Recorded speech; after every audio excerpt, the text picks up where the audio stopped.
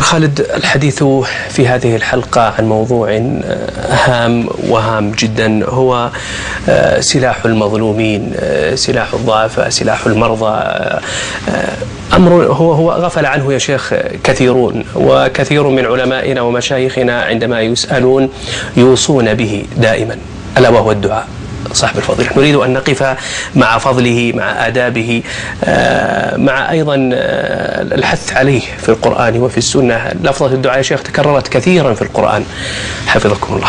الحمد لله رب العالمين وأصلي وأسلم على البشير النذير والسراج المنير نبينا محمد وعلى آله وأصحابه أجمعين. أما بعد فالدعاء له منزلة كبرى في حياة الإنسان. لا غنى به عن أن يسأل الله جل وعلا. يا أيها الناس أنتم الفقراء إلى الله والله هو الغني الحميد. ولما كانت هذه هي حال الإنسان أنه فقير مهما بلغ في قدرته وما مكنه الله تعالى منه من الأسباب وما أتاه من القدرات إلا أنه لا يخرج عن كونه إلى الله فقير. وهذا الفقر وصف ذاتي للإنسان لا ينفك عنه. فإذا كان الأمر على هذا النحو وأن الإنسان فقير فقرا أصيلا وفقرا لا ينفك عنه في جميع أحواله في غناه في فقره في صحته في في مرضه في صغره في كبره في خاصة نفسه في شأنه العام. كان الدعاء من الضرورات التي لا يستغني عنها الإنسان. ومن رحمة الرحيم الرحمن جل في علاه أن جعل الدعاء الذي الإنسان مضطر إليه ولا ينفك عنه وهو في كل لحظة محتاج إليه جعل الله تعالى الدعاء عبادة. فقال النبي صلى الله عليه وسلم الدعاء هو العبادة كما في حديث النعمان بن بشير في الترمذي. ومن فضل الله تعالى أن رتب على ترك الدعاء العقوبة مع أن أنه جل في علاه لا تنفعه طاعة الطائعين. ولا يبلغه نفعهم. فيا عبادي إنكم لن تبلغوا ضري فتضروني ولن تبلغوا نفعي فتنفعوني. إنما ينتفع الإنسان في عمله عود نفعه إلى نفسه. يقول الله جل وعلا من اهتدى فإنما يهتدي لنفسه. قال الله جل في علاه وقال ربكم ادعوني أستجب لكم. إن الذين يستكبرون عن عبادتي سيدخلون جهنم داخرين. فإذا كانت هذه منزلة العبادة من حيث منزلة الدعاء من حيث مراتب العبودية ومنزلة الدعاء من حيث ضرورة الإنسان له. كان الدعاء مما ينبغي الا يتركه الإنسان في كل أحواله. ولهذا هو سلاح كل مؤمن. وليس فقط سلاح ذوي الحاجات لأنه لا يغتني الإنسان مهما كان. فلكل إنسان مهما بلغ من القدرة والقوة والمكانة لا بد له من حاجة. كل من لقيت يشكو دهره ليت شعري. هذه الدنيا لمن؟ فلا أحد يخرج من حاجة مهما كان في ظاهره أنه يعني مكتمل العطاء لا بد أن يكون هناك حاجة. تعلمها الناس أو تخفى عنهم. لذلك أقول شعورنا بضرورتنا إلى سؤال الله تعالى.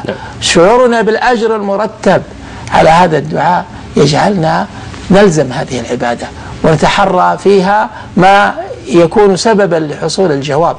والداعي السائل الذي يطرق باب الله جل في علاه لا يعود منه إلا بخير.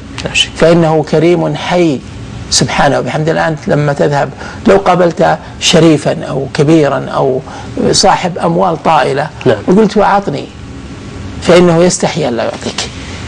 يستحي أن لا يعطيك وهو بشر مع أنه مجبول على الإمساك.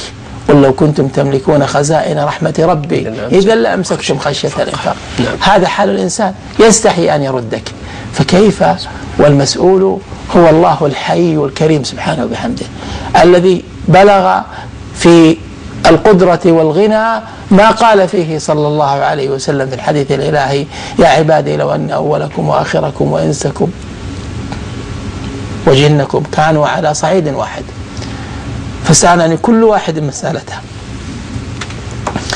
فأعطيت كل واحد مسألته. لم ينقص ذلك من ملكي شيئا. هذا الكرم العظيم والقدرة الكبيرة تطمع النفوس. المؤمنة الصادقة في عطاء الله عز وجل. وأنه لن يعود من الله تعالى إلا بخير إذا إذا صدق في الإقبال عليه.